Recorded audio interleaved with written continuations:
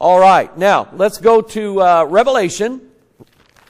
And um, I rem- I had forgot that I was going to um, that I was going to uh, mention some things about the blood this morning that I brought up last Sunday and forgot all about it. And the Lord hit me on the head with it on the way over this morning, and I went, I remember that now. So what I want to do is uh, Revelation chapter one. Um, I mentioned this um, and started talking about this last Sunday that there was uh, a controversy and, and still is. Uh, as far as I know, the, the pastor, brother Pastor Brown, that brought up this issue about the blood um, several years ago, as far as I know, he's still alive and still teaching that same heresy. In fact, the Bible college that he teaches at has defended him and stood up for him in, in what I think is heresy because he is denying the blood as being essential for salvation. And he basically says that the blood doesn't mean blood, it means the death of Christ. And so you can have the death of Christ without the blood of Christ. And every time in the Greek it says, and, and I'm going to show you something here in a little bit. Uh, there's a verse I was trying to quote last Sunday and I was getting it wrong. But I'm going to show it to you this morning. Um, this is how doctrines get changed.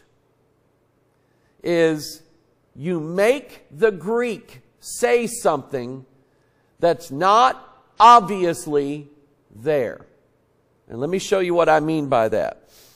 Um, Revelation chapter 1. Let's pick it up in verse 4. John to the seven churches which are in Asia, grace be unto you and peace from him which is, and which was, and which is to come, from the seven spirits which are before his throne, and from Jesus Christ, who is the faithful witness, and the first begotten of the dead, and the prince of the kings of the earth, unto him that loved us, and washed us from our sins in his own blood. Now, those of you who have the King James Spirit Bible Search software, since most of you, in fact, all of you are at home today, load up that software, type in the phrase, his own blood you'll find that it's in the King James Bible exactly four times. Four is the number for the spiritual realm. It is the number for the gospel, Matthew, Mark, Luke, and John. Uh, it is also the number for a false gospel, the opposite of the true gospel of God. So that phrase, there's, there's power in these words, and this is what I like about my King James Bible is that God connects these things together by the words that He says. And if you change the words in any one verse, you're going to alter some major doctrines. So just that phrase, His own blood, you'll find it in there four times. And in every time, it's referencing the blood of Jesus Christ and it's the part that it plays in our salvation.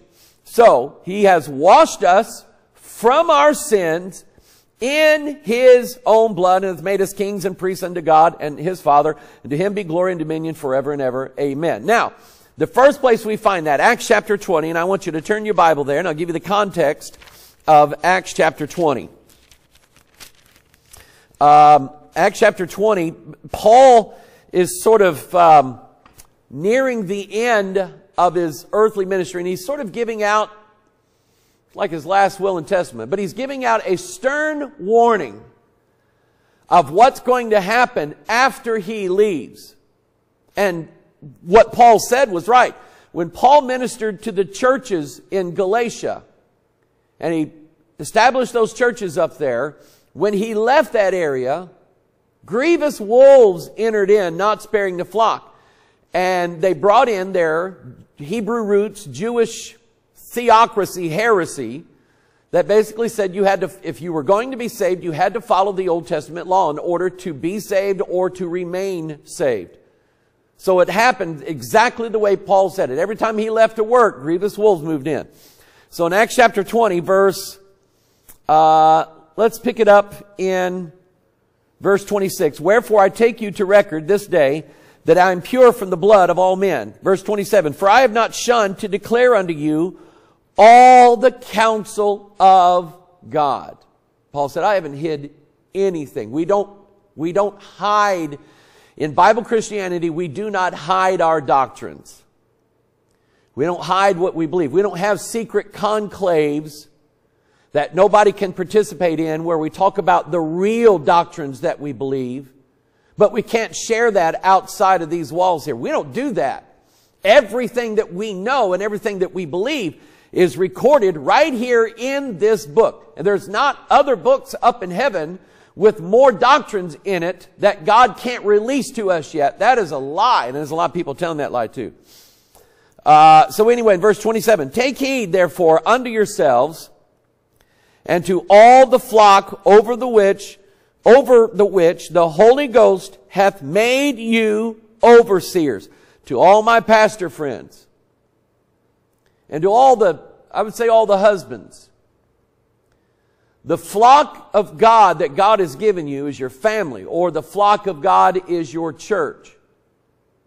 God calls us men, as wicked and hell deserving as we are, God calls us men to be overseers of the flock that He has given us. It is a great responsibility.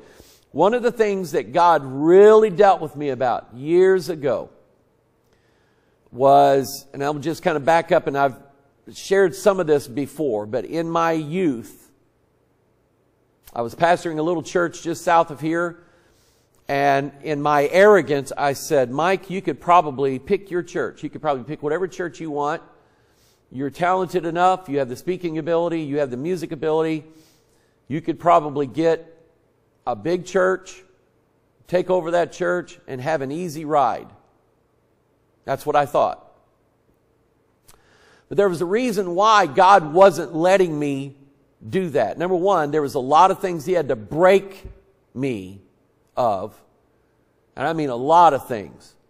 My pride and arrogancy was at the top of the list.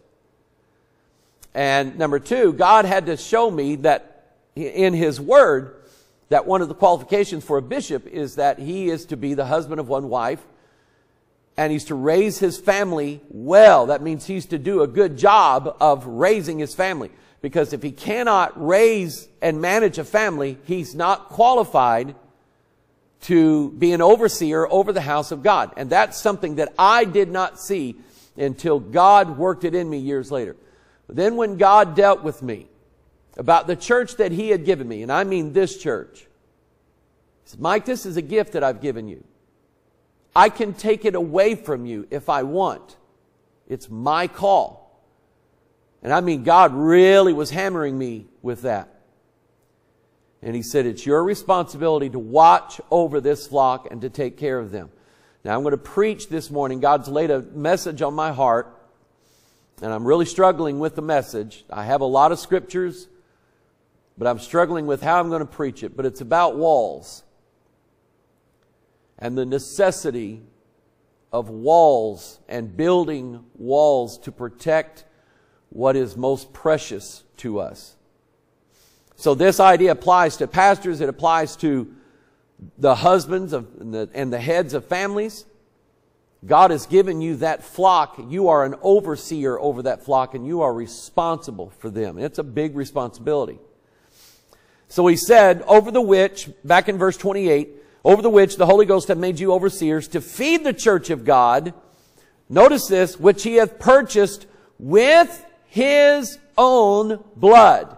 Now notice, follow the phrase here. To feed the church of God. He does not say the church of Christ. He does not say the church of Jesus. He says the church of God, which he, God, hath purchased with his, God, own blood. God purchased the church with his own blood. So the idea that the blood of Christ was not divine is a lie because it says right here that God has blood. Let me, let me just ask you this. Does God have eyes? Yeah. Noah found grace in them. Does God have an arm? Yes. Does God have feet? Yes. Does God have a head? Yes. Does he have a face? Yes. Does he have a back? Yes. Moses got to see that part of it, couldn't see the rest of it. So God, in Christ, purchased the church with his own blood. Exact words that he used here in Revelation has washed us from our sins in his own blood. Boom. Purchased with his own blood. Now, here's what the exalted Greek professors, and I, I know that, and, and again, I'm, I'm rooting for John MacArthur to win his battle in California for their right to continue to have church. I don't want to lose ours, even though we've kind of made everybody stay home because we've had serious issues with COVID in this church. But it's our decision whether we're going to be here or not. It's our choice, not the government. And so, um, but I, John MacArthur has at least, and I know at one time, espoused this same idea that it's not the blood of Christ, it's the death of Christ. And in that, he is wrong. Now here's what they do. It, they said to feed the church of God with which he had purchased with his own blood. They say the phrase which he hath purchased with his own blood. The way the Greek is laid out, it really implies with the blood of his son. So they, even though those words, his son, is not in the Greek text anywhere. it's not there. They say the flow of the Greek and the Greek, the way you parse this verb and the way you do this and you, you turn it this way and, and you twist it a few times and wring it out. And then it, what it really should have said is, he has bought it with the blood of his own son. So they add, they don't like the verse because it disagrees with their theology, their trumped up theology. So they just make the Greek say something that it never said. That's how you do it. And I know this because I did it years ago. And thank God, God brought me out of that with a very heavy rod. And I don't do that no more. I don't put words in God's mouth. I don't take words out of God's mouth, out, out of context. The church was purchased with God's own blood, and that's the end of the story. And then he said, verse 29, For I know this, that after my departing shall grievous wolves enter in among you, not sparing the flock. Uh, let me keep reading. Also of your own selves, of your own selves, shall men arise, speaking perverse things, to draw away disciples after them. And I want you to ask yourself this question. Why do some people make themselves YouTube channels? Why do people do that? Okay? Because YouTube allows them to make money off of everything they put on YouTube. If they can get you to watch it, they get a check. And some people, some people have quit their jobs. They don't work a job anymore. They make YouTube videos for a living and they do quite well with it. Okay? But what are they doing? They're making disciples unto themselves. We, this church, I, do not ever monetize any of our YouTube videos. We're given the choice on everyone that we upload, and I always click no to the monetization. I don't want to get into the idea that if I say certain things, more people will watch it and we'll get more money out of it. That's not how it works. God's against that. God hates that, but that's what people are doing.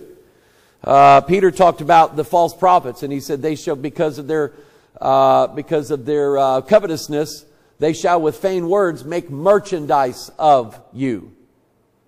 They literally sold you on the idea. You believed what they said and they got paid well for it. And that's all the flat earth people and all the Hebrew roots people and everybody else that spreads false doctrine over the internet, especially on YouTube.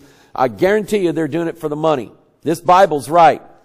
But anyway, he said, uh, of your own selves shall men arise speaking perverse things to draw away disciples after them. Therefore watch and remember that by the space of two years I cease not to warn everyone night and day with tears.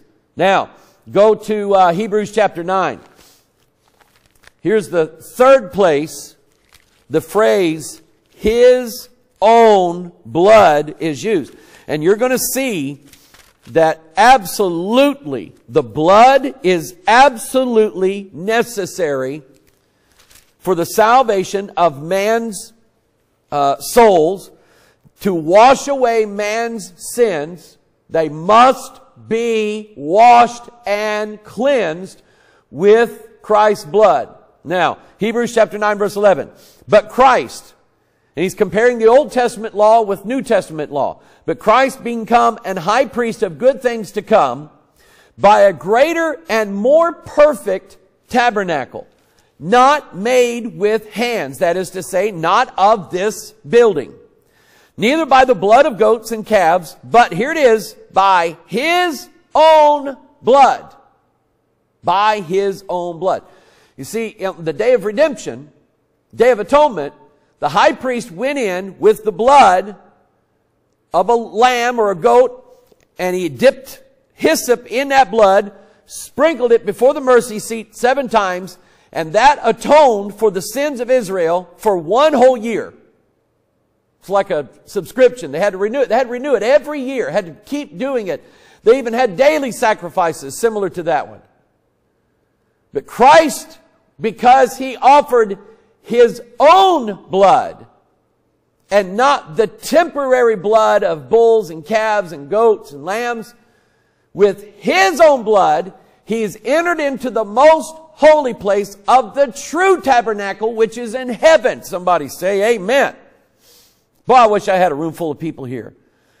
And he said, um, verse 12, neither by the blood of goats and calves, but by his own blood. He entered in once into the holy place, having obtained eternal redemption for us. For if the blood of bulls and goats and the ashes of an heifer sprinkling the unclean sanctifieth to the purifying of the flesh, how much more shall the blood of Christ, who through the eternal Spirit offered himself without spot to God, purge your conscience from dead works to serve the living God? You see, the blood of bulls and goats and calves, they might cover the sin, but they cannot atone for it. They cannot pay for it. And it cannot clear your conscience. Now, I know things that I've done. I never talk about them, and I'm not going to. You don't either. The things I've done and the things you've done. You don't talk about them. You don't have to. But one thing I know is that those sins have been washed by the blood of the everlasting Lamb of God, Jesus Christ. Man, amen. So, that's how our, how come our conscience can be purged from those dead works. We have a new knowing now, a new conscience. Whereas we knew that we had sinned, but now we know that those sins have been covered and God will, will not ever hold them against us. Ever, ever, ever. Somebody say amen. So, verse um, uh, 14, how much more shall the blood of Christ, who through the eternal Spirit offered himself without spot to God, purge your conscience from dead works to serve the living God? And for this cause, he is the mediator of the New Testament, that by means of death, for the redemption of the transgressions that were under the first testament, they which are called might receive the promise of eternal inheritance. For where a testament is, there must also of necessity be the death of the testator. When does a will and testament come into force? When a person dies. Can they be enforced before the person dies? No. We have to wait on this literal, historical fact to happen. That the person who testifies in a testament and signs his will that on the fact of his death, now the testament is of force. So Christ has died. He's fulfilled the obligations of the old covenant. And now he, he is rises again and we rise with him to be co-inheritors with him of the blessings that God promised him. Um, Verse 16, for where a testament is, this must also uh, of necessity be the death of the testator. For a testament is of force after men are dead, otherwise is of no strength at all while the testator liveth. Whereupon neither the first testament was dedicated without blood, for when Moses had spoken every precept to all the people according to the law, he took the blood of calves and goats and, and water, with water and scarlet wool and hyssop and sprinkled both the book and all the people, saying, this is the blood of the testament which God hath enjoined unto you. Moreover, he sprinkled the blood, he sprinkled with blood both the tabernacle and all the vessels of the ministry. And almost all things are by the law purged with blood. Not death, with blood. With what blood? Divine blood. God's own blood. His, we, have, we are not redeemed with corruptible things, but incorruptible by the blood of Jesus Christ is how we're redeemed. Uh, verse 21, moreover, he sprinkled with the blood both the tabernacle and all the vessels of the ministry, and almost all things are by the law purged with blood, and without shedding of blood is no remission. It was therefore necessary that the patterns of things in the heavens should be purified with these, but the heavenly things themselves with better sacrifices than these. Something better than a little lamb or a goat or a bull had to die. And it was God's only begotten Son, His divine Son the Son of God is God. Amen. It, and then one more. Four times, remember, His own blood. Hebrews 13. Turn there. It says, we have an altar. And this, you know, what I was always taught and, and heard, we called these benches here the altar. I don't get too nitpicky about it, but the truth of it is the altar for us is the cross. The cross of Jesus Christ. That was the altar of sacrifice. So we have an altar whereof they have no right to eat, which serve the tabernacle. For the bodies of those beasts whose blood is brought into the sanctuary by the high priest for sin are burned without the camp. Wherefore Jesus also, that he might sanctify the people with his own blood, there it is, sanctified the people with his own blood, suffered without the gate. Let us go forth, therefore, unto him without the camp, bearing his reproach. I've preached this many times. I've left the camp. I walked away from a denomination, walked away from men that I revered and looked up to. I walked away from things that I used to believe that I don't believe anymore because the Bible said something different. And if you want God's blessing, we follow Christ like the scapegoat. Once the sins were laid upon the head of that scapegoat, he was sent outside the city so that the sins are taken away from us. And we follow Christ going without the city, leaving the camp behind. Because if they won't serve God, and listen to me now, if your church won't serve God the right way, according to this book, you have no alternative but to step out and walk away. Come out, come out of them and be ye separate, saith the Lord. Touch not the unclean thing, and I will receive you. Even if our own family members turn away from the gospel, we have to leave them. Pray for them, yearn for them, night and day. Pray that God will bring them back God can bring back lost sheep. He can bring back prodigal children, prodigal fathers, prodigal wife. God can do it all. But you don't follow them in their sins. You don't say, well, I'm, in order to keep peace, I'll just go with them and do what they're doing. I've seen people try it. It don't work. It never works. So we bear the reproach of Jesus Christ. Uh, I don't have time to do this now, but very quickly, when he says, washed us in his blood, I do this teaching on the white blood cells.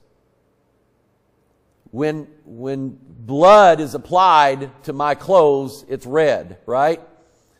But in this case, we also have part of our blood called white blood cells. Right now, in my body, my body is fighting off some kind of infection in my throat, in this lung, in my sinuses. Okay? And what's happening is the white blood cells in my blood are doing three things. They're, it's called engulfment, where they cover over the infection completely. The white blood cells, the bones produce the white blood cells. That's how they tell somebody sick. They do a white blood cell count. And if their blood cell count is high, they know there's an infection there. So they, the white blood cells try to cover over the thing that is unclean in your body. Whether it's a germ or some kind of uh, virus or anything like that, some kind of unclean thing in your life, the blood covers it. The white blood cells cover it completely the second thing it does called degradation. It breaks them up into thousands and millions of tiny pieces. The third thing is consumption. Then it consumes the uncleanness or the bacteria or whatever it is. It completely consumes it. And now, once those white blood cells have done their job, do you know what they do? They die. But what happens is, it is as if now you have never had that uncleanness in your life. Amen. I wish somebody was here to shout with me. Because that's how it works. This is what God does for us. He covers our sins completely. He takes them away from us and consumes them, taking him upon himself. And then he died. And now, guess what? Now your body knows how to fight that off if it ever happens again.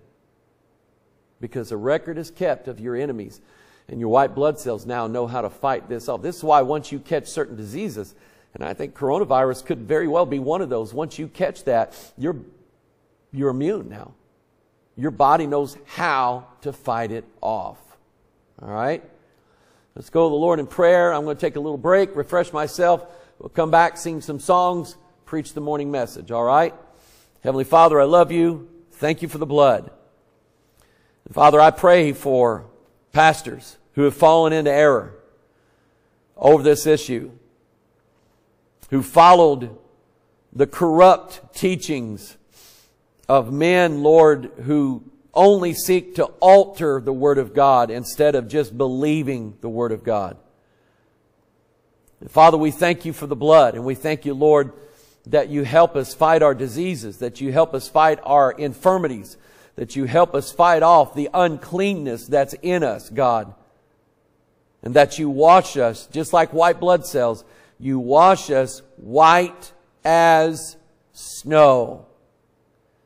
Thank you, Jesus, for offering up your own blood. I can never repay that. Never but I seek to serve you all the days of my life because of what you've done for me. I love you. Bless your word, we pray in Jesus' name. And all of God's people said, Amen. Let's take a little break.